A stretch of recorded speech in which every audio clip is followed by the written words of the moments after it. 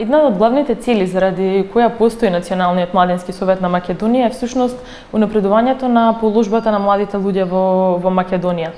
Земајќи предвид ваквата цел на, на постоење, едно од основните улоги која би требало Советот да има е всушност информирањето на младите во врска со нивните права и должности. Земајќи предвид пак сега дека нашата целна група всушност живее онлайн и си 90% ако не и повеќе од информациите ги добива онлайн,